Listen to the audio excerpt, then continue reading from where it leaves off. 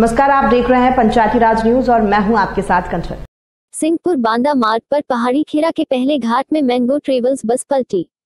एक की मृत्यु, अन्य पंद्रह लोग घायल, जिनमें से तीन की हालत गंभीर।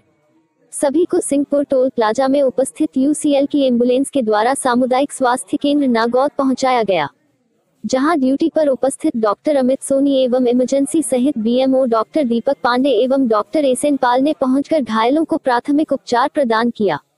एवं गंभीर रूप से घायल लोगों को प्राथमिक उपचार देकर सतना जिला अस्पताल के लिए रेफर किया गया।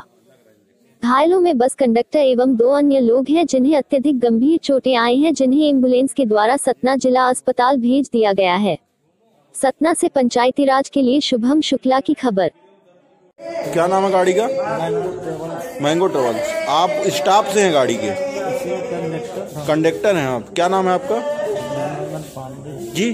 ब्रजनंदन पांडे। ब्रजनंदन पांडे। कितने लोग रहे होंगे बस में वैसे? Mango travels. कहाँ पे पलटी है ये गाड़ी? ये पलटी है अपना पहाड़ी खेरा के आने नहीं पाए पहले पलट गई पहाड़ी खेरा के पहले पलट गई है। घाट के आसपास पलटी है। घाट हाँ। घाट को चढ़ गई है पूरा। घाट पूरा चढ़ गई है? कितने लोग रहे होंगे बस पे ये सब अंदाज?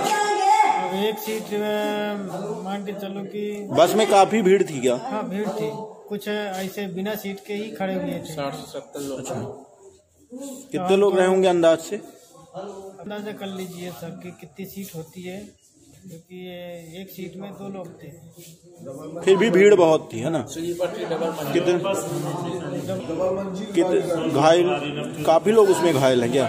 किसी की मौत भी हुई है आपकी जानकारी? शायद मौत हुई कितने लोगों की? अच्छा चलिए ठीक।